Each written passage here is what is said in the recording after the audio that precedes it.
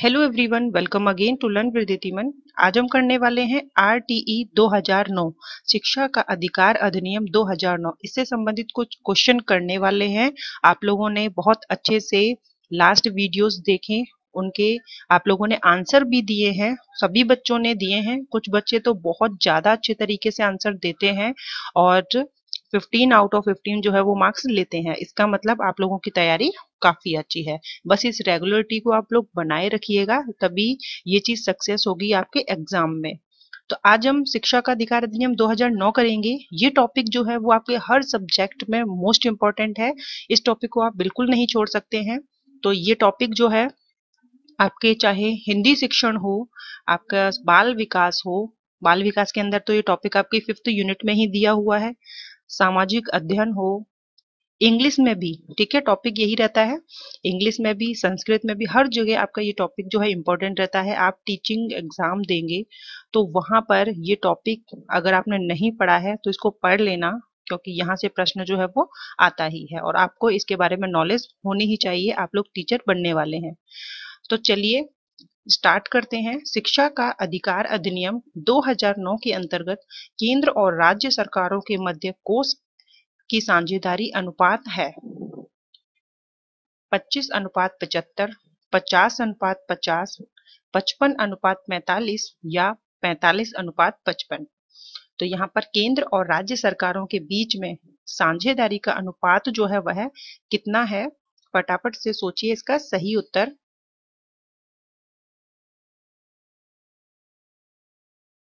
तो क्या रहने वाला है इसका सही आंसर? आप लोग अपना आंसर लगाइए।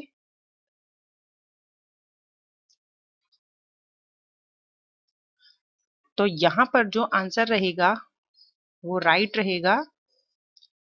केंद्र द्वारा 55 और राज्य सरकार के द्वारा 45 ठीक है? इन दोनों की साझेदारी जो है, कितनी है? केंद्र सरकार द्वारा 55 और राज्य सरकार द्वारा 45 ठीक है? इस चीज़ को आप लोग याद रखिएगा। देखिए शिक्षा का अधिकार अधिनियम 2009 जो है, इसमें सभी बालक बालिकाओं को निशुल्क और अनिवार्य प्राथमिक शिक्षा प्रदान करने हेतु भारतीय संसद में एक कानून बनाया गया, ठीक है? जिसको क्या कहा गया? शिक्षा का अधिकार अधिनियम 2009 याद रखना है, प्राथमिक शिक्षा प्रदान करने हेतु। एग्ज़ाम में यहाँ से भी क्वेश्चन पूछा जा सकता है, प्राथमिक माध्यमिक या उच्च माध्यमिक, ठीक है? तो याद रखिएगा, प्राथमिक शिक्षा के लिए। और वहीं अगर हम बात करें कि राज्यसभा द्वारा इसे 20 जुलाई 2009 को, राज्यसभा द्वारा 20 जुलाई 2009 को पारित किया गया, वहीं लोकसभा द्वारा 4 अगस्त 2009 को ही पारित किया गया। ठीक है? ये चीज़ें आप लोग याद रखिएगा। इसके अंतर्गत संविधान का अनुच्छेद आपने 21 ए या 21 अ पढ़ा होगा।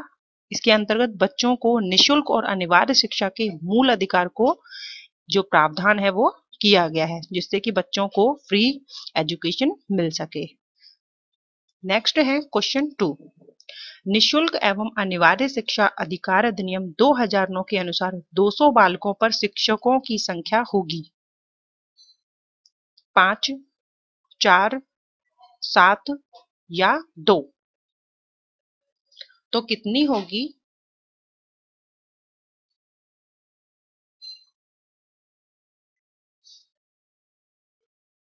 तो यहाँ पर जो आंसर रहेगा, वो क्या रहेगा? बिल्कुल, सभी की तैयारी जो है वो बिल्कुल बेस्ट है। और क्या है? आंसर रहेगा पाँच। 200 बालकों पर शिक्षकों की संख्या कितनी होगी? पाँच होगी। नेक्स्ट है क्वेश्चन थ्री निशुल्क एवं अनिवार्य शिक्षा अधिकार अधिनियम 2009 को लोकसभा में पारित किया गया। तो अभी आप लोगों को याद होगा 4 अगस्त 2009 6 अगस्त 2009 3 अगस्त 2009 या 5 अगस्त 2009 तो अभी अभी मैंने आपको डिस्कस करके बताया था कि लोकसभा में पारित कब किया गया? आरटीई 2009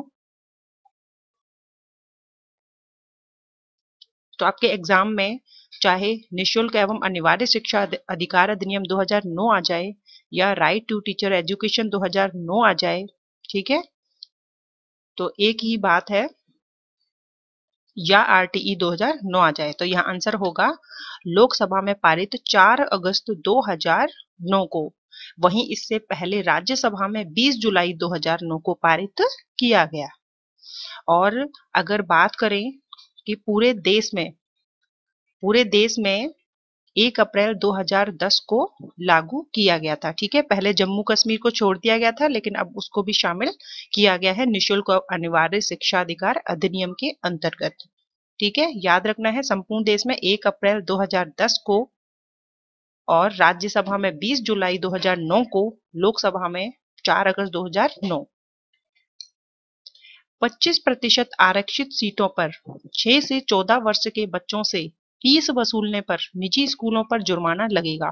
कितना लगेगा? फ़ीस का 20 गुना, फ़ीस का 15 गुना, फ़ीस का 10 गुना या फ़ीस का 5 गुना? तो सभी धाराएँ जो हैं वो आप लोगों ने याद की होंगी।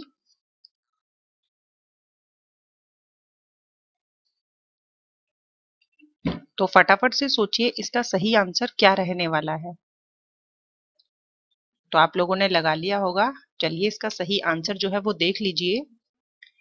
फ़ीस का दस गुना, ठीक है? जो प्राइवेट स्कूल हैं, इन पर जुर्माना लगेगा, फ़ीस का दस गुना। देखिए, सबसे पहली बात ये कि जो धारा तीन है, उसके अंतर्गत तो सभी बच्चों को अनिवार्य प्रारंभिक शिक्षा जो है वो प्रदान की जाएगी। फ्री एजुकेशन किसी भी बच्चे से कोई भी शुल्क या राशि नहीं ली जाएगी, ठीक है? तो इसीलिए जुर्माने का प्रावधान है। यदि यदि निजी स्कूल जो है, प्राइवेट स्कूल जो है, वो फ़ीस वसूलते हैं तो फ़ीस का दस गुना जो है, वह जुर्माना उनके ऊपर लगेगा, क्योंकि 25 परसेंट सीटें जो है, वो क्या है? आरक्षित हैं। अगला है, आरटीई 2009 के तहत आम नागरिक को क्या अधिकार दिए गए हैं? स्कूलों की शिकायत का अधिकार जो बच्चों को शिक्षा देने से इनकार कर रहे हैं, विद्यालय की सुविधाओं को रोकने का अधिकार, विद्यालय बंद करवाने का अधिकार या उपरोक्त में से कोई नहीं। तो यहाँ पर आम नागरिक को क्या अधिकार है? क्या वह विद्यालय बंद करवाने का अधिकार है उनको? या विद्यालय की सुविधाओं को रोकने का अधिकार है? या स्कूलों की शिकायतों का अधिकार जो बच्चों को शिक्षा देने से इनकार कर रहे हैं?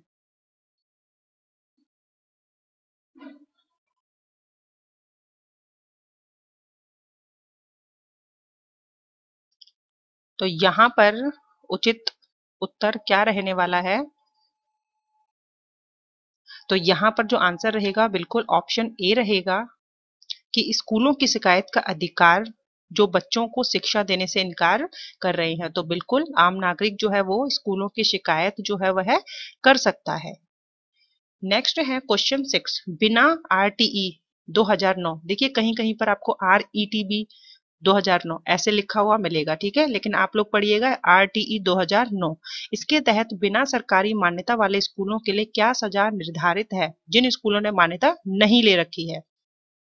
स्कूल बंद करना, पचास हज़ार का जुर्माना, मान्यता प्रदान करना या पहली बार एक लाख रुपए जुर्माना? तो जिन स्कूलों ने सरकारी मान्यता नहीं ली है तो आर टी ई 2009 के तहत क्या प्रावधान है?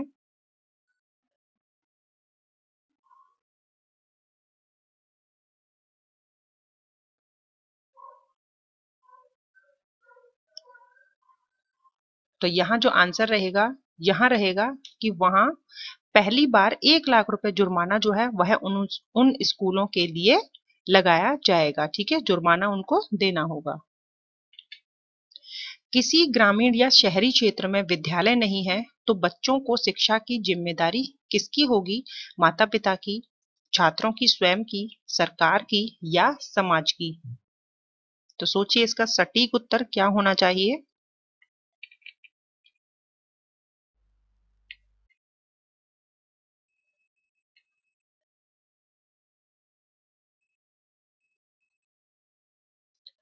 तो यहाँ जो आंसर रहेगा वो ये रहेगा कि स्कूल ही नहीं है तो ज़िम्मेदारी जो है वो किसकी है? सरकार की, ठीक है? और जब विद्यालय बन जाता है तो उसके बाद माता पिता की ज़िम्मेदारी है कि वह शिक्षा के लिए बच्चों को स्कूल में एडमिशन करवाए। आरटीई 2009 के तहत अध्यापकों के प्रशिक्षण के लिए मानकों का विकास व लागू करने का अधिकार किसे होगा?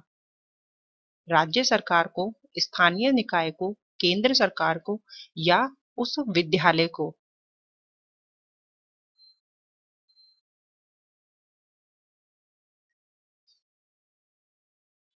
तो यहाँ बिल्कुल स्पष्ट है यह कि सबसे पहले प्रशिक्षण के लिए जो मानक हैं, उनको लागू कौन करेगा? केंद्र सरकार।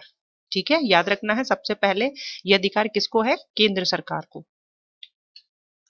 क्वेश्चन नाइन है, नवीकरण अनुसंधान योजना निर्माण हेतु राज्य सरकार को तकनीकी व संसाधन कौन उपलब्ध करवाएगा? स्थानीय निकाय, विद्यालय, समाज या केंद्रीय सरकार? फटाफट से इसका आंसर लगाइए। कि नवीकरण अनुसंधान योजना के निर्माण हेतु राज्य सरकार को, किसको? राज्य सरकार को। तकनीकी व संसाधन कौन उपलब्ध कराएगा? तो सबका ही आंसर यहाँ पर सही रहेगा और वो क्या रहेगा? यह आंसर रहेगा केंद्रीय सरकार। क्वेश्चन टेन है, आरटीई 2009 के तहत सरकार के कर्तव्य हैं। छह से चौदह वर्ष के प्रत्येक बालक को निशुल्क व अनिवार्य शिक्षा उपलब्ध कराना आसपास में विद्यालय की उपलब्धता कराना, सरकार धारा चार में वे निर्दिष्ट विशेष प्रशिक्षण सुविधा उपलब्ध कराना या उपरोक्त सभी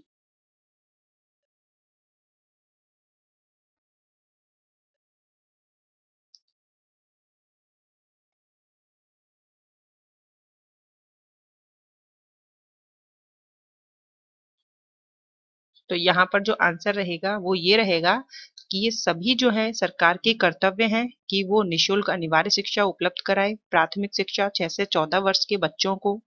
आसपास में विद्यालय की जो है, वो उपलब्धता, यह भी कर्तव्य है सरकार का। और देखिए, धारा चार जो है, वो ये भी कहती है कि बच्चों को सर्वप्रथम उनकी आयु के अनुरूप कक्षा में दर्ज कराया जाए। उनका एडमिशन जो है, वो उनकी आयु के अनुरूप ही होना चाहिए। नेक्स्ट है क्वेश्चन 11 आरटीई 2009 के अनुसार विद्यालय प्राप्त अनुदान का कितना प्रतिशत निशुल्क व अनिवार्य शिक्षा पर खर्च करेगा? 50 प्रतिशत 30 प्रतिशत 25 प्रतिशत या 10 प्रतिशत? तो जो स्कूल है, वह प्राप्त अनुदान का कितना परसेंट इस शिक्षा पर खर्च करेगा? किस शिक्षा पर? निशुल्क व अनिवार्य शिक्षा पर।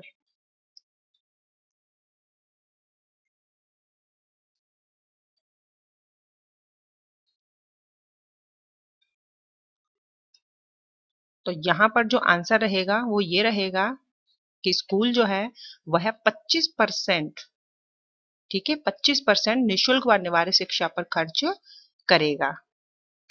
चलिए नेक्स्ट है क्वेश्चन 12 आरटीई 2009 में शारीरिक दंड एवं मानसिक उत्पीड़न का क्या प्रतिषेध है? उत्पीड़न पूर्ण रूप से प्रतिबंधित है, उत्पीड़न आंशिक रूप से प्रतिबंध है ऐसा कोई प्रावधान इसमें नहीं है या उपरोक्त में से कोई नहीं।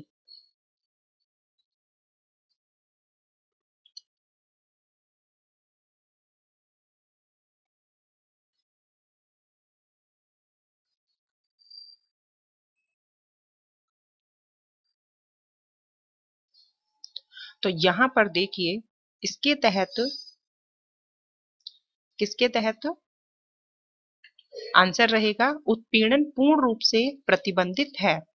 अगर हम बात करें कि धारा सत्रह की तो इसमें लिखा गया है कि विद्यालय में बच्चे को ना तो शारीरिक रूप से प्रताड़ित किया जाएगा और ना ही मानसिक रूप से प्रताड़ित किया जाएगा। तो ये धारा 17 जो है, वो यही कहती है। और अगर इन नियमों का पालन जो है, वह एक टीचर नहीं करता है तो उसके विरुद्ध जो है, वो कार्रवाई की जाएगी। नेक्स्ट है थर्टीन क्वेश्चन आरटीई 2009 के तहत गठित होने वाली विद्यालय प्रबंध समिति के लिए क्या प्रावधान है? इसके तीन चौथाई सदस्य माता पिता या संरक्षक होंगे। समिति को 50 प्रतिशत सदस्य महिलाएँ होंगी। समिति की 50 प्रतिशत सदस्य महिलाएँ होंगी। उपरोक्त दोनों या इनमें से कोई नहीं। तो जो विद्यालय प्रबंध समिति है, उसके लिए क्या प्रावधान है?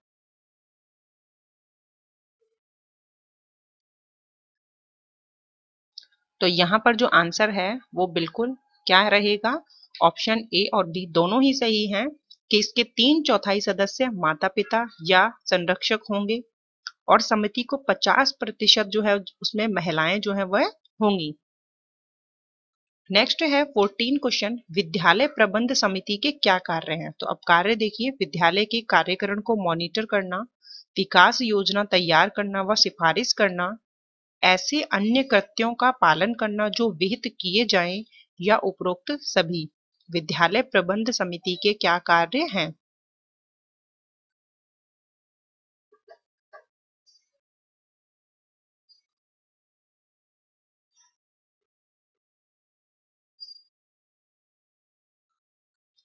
तो यहाँ पर जो उचित, एकदम सटीक आंसर यही है कि विद्यालय के जो भी कार्यवाही है, कार्यकरण है, इसको मॉनिटरिंग करना, विकास योजना तैयार करना, सिफारिश करना, ठीक है? और जो भी कार्य किए जा रहे हैं, उनका उचित तरीके से पालन करना, ये सभी विद्यालय प्रबंध समिति के कार्य होते हैं। नेक्स्ट है क्वेश्चन 15 आरटीई 2009 के तहत अध्यापकों का कर्तव्य है। विद्यालय में नियमित व समय पर उपलब्ध होना पाठ्यक्रम संचालन उसे पूरा करना, ऐसे अन्य कर्तव्यों का पालन करना जो विहित किए जाए या उपरोक्त सभी।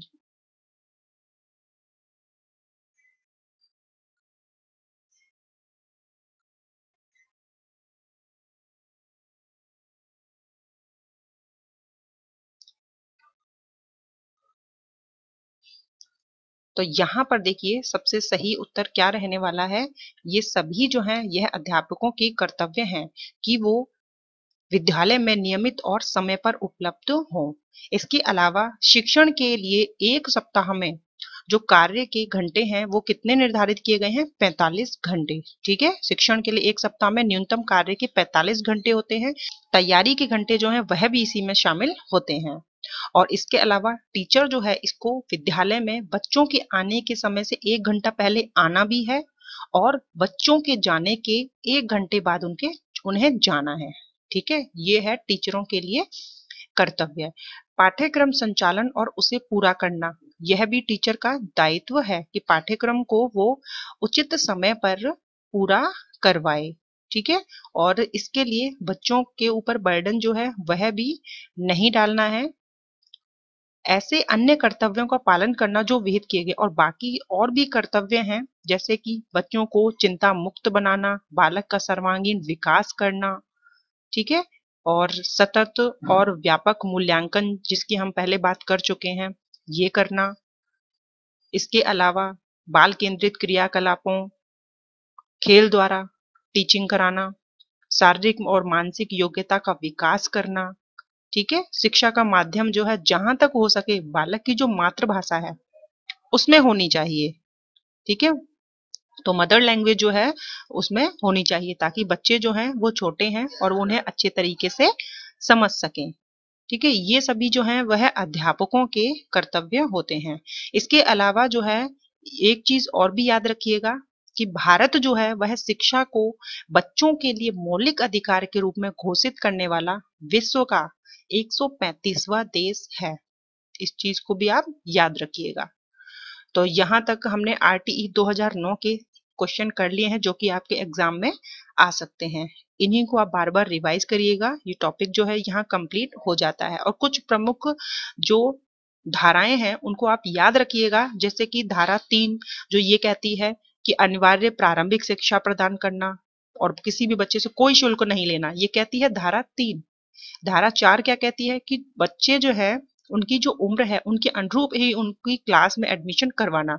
यानी कोई बड़ा बच्चा बीच में अगर उसकी पढ़ाई छूट गई है तो उसे छोटे बच्चों में एडमिशन नहीं कराना, बल्कि उसके आयु के अनुरूप ही उस क्लास में एडमिशन देना। ठीक है?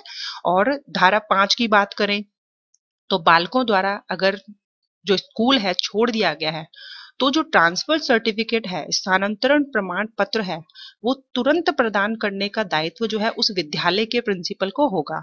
ये धारा पाँच कहती है। ठीक है एक ये इंपॉर्टेंट है, धारा तीन, चार और पाँच। इसके अलावा जो धारा चौदह है, जिसमें अगर बच्चे के पास उसका बर्थ सर्टिफिकेट नहीं है, फिर भी उस बच्चे को स्कूल में एडमिशन से इनकार नहीं कर सकता वो स्कूल ये धारा चौदह कहती है। ठीक है? और धारा 16 जो है वो क्या कहती है कि किसी भी बच्चे को किसी कक्षा में रोका नहीं जाएगा और ना ही उसे क्लास से जो है स्कूल से है वो बाहर किया जाएगा। धारा सत्रह जो मैंने अभी क्वेश्चन के फॉर्मेट में आपको बताई कि स्कूल में बच्चे को ना ही तो शारीरिक रूप से प्रताड़ित किया जाएगा, ना ही मानसिक रूप से प्रताड़ित किया जाएगा। और अगर कोई टीचर ऐसा करता है तो धारा 24 के तहत तो उसके ऊपर कार्रवाई होगी। धारा 30 क्या कहती है कि अध्यापक को बच्चे का लर्निंग रिकॉर्ड रखना जो है वो अनिवार्य है।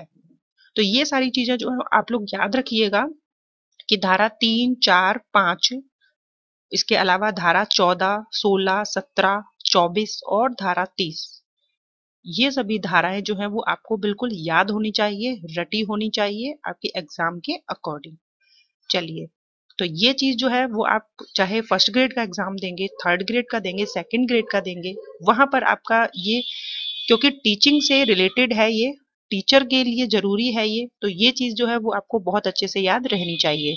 चलिए, मिलते हैं इसी तरीके से तैयारी के साथ।